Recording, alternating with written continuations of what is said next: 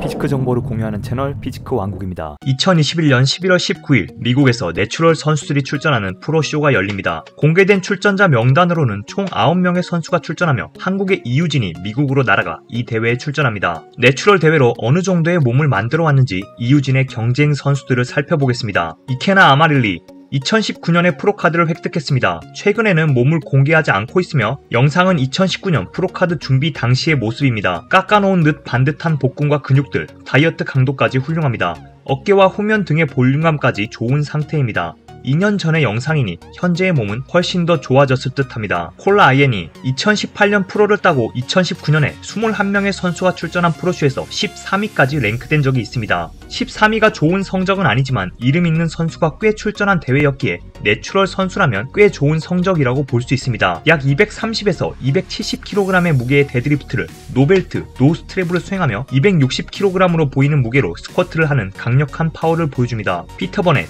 2020년에 프로카드를 따고 현재 40세가 넘는 선수입니다. 올해 40세 이상이 출전하는 마스터 부문 프로쇼에서 2위를 기록한 바 있습니다. 보통 외국 시합은 만 나이로 출전하니 한국 나이로는 42살 이상 되었을 것으로 보입니다. 해외 유명 유튜버가 김종국을 저격하며 40 살이 넘어가면 호르몬 수치가 떨어져 100만 분의 1의 유전자가 아니면 근육 유지가 힘들다는데 좋은 몸 상태를 유지하고 있습니다. 렌 우드홀 올해 프로카드를 획득한 선수입니다. 올해 NPC North American Champions에서는 프로카드를 미친듯이 뿌렸습니다.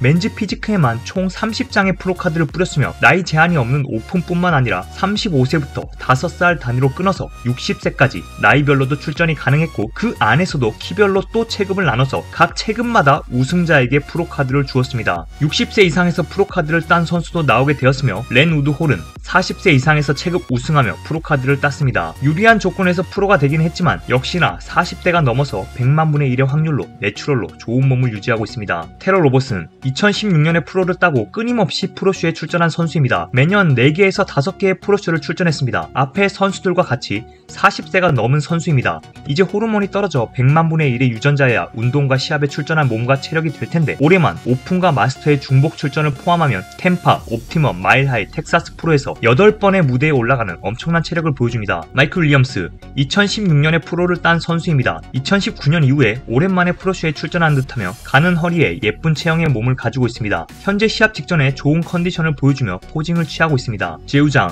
lifetime natural이라고 아예 프로필에 박아놓은 중국 선수이며 2018년 중국 아마추어 올림피아에서 우승하며 프로가 되었습니다. 예쁜 체형의 몸으로 2019년에는 21명이 출전한 프로쇼에서 제르미 포트빈을 포함한 올림피아 정상급 선수들 바로 뒤를 이어서 4위까지 올라갔습니다. 이번 출전 선수들 중 가장 좋은 시합 기록을 가지고 있다고 할 수 있습니다. 우리의 발라드 가수 킹종국 형님이 roider로 의심을 받으며 해외 유명 유튜버는 김종국이 내추럴이면 1억 분의 1의 유전자이다. 40대의 저 몸은 호르몬 대체 요 요법을 사용한 것이다. 저 나이에 내추럴로 저 몸이 유지되면 100만 분의 1의 확률이다. 라고 말하며 한국 운동계에 엄청난 논란을 가져왔습니다. 하지만 내추럴 대회에 출전하는 미국 선수 중에 김종국에게 몸이 뒤지는 선수는 거의 없어 보입니다. 김종국을 저격한 유튜버가 이 시합을 보게 되면 어떤 이야기를 할지 궁금합니다. 여기에 유일한 외국인 이유진이 이 시합에 출전합니다. 출전 선수 중 이유진을 제외하면 모두 다 미국 선수이고 중국 선수 역시 미국 거주로 출전했습니다. 매달마다 피검사를 해가며 내추럴임을 증명하고 있는 이유진은 3년 안에 올림피아에 가는 모습을 보여주겠다고 했고 그게 가능할 수 있는 가장 큰 시합이